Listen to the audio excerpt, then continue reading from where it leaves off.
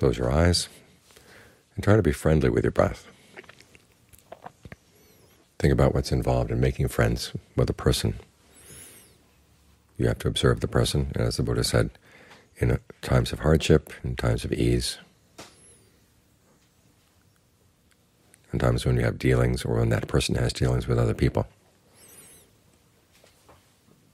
And it takes time, and you have to be observant. Well, the same principles apply to getting to know your breath.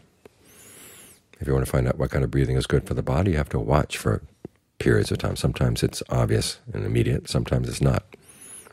Sometimes you try all kinds of ways of breathing and nothing seems comfortable at all.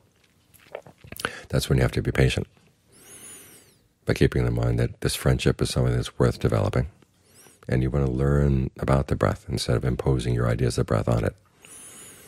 That requires that you watch.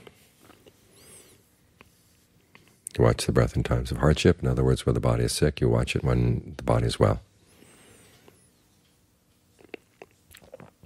And you ask a few questions here and there to figure out what ways of breathing might be better, what the body needs right now, what the breath needs right now. But the mind has to be extremely patient and willing to give. If all you can think about is what you want out of the breath, then it's just like the kind of friendship where you just want to take, take, take from the other person, or impose your ideas on the other person, without giving the other person room to show what he or she knows, he or she needs. That kind of friendship never lasts. It's the kind of friendship where you are patient and listen and watch and are willing to put out some effort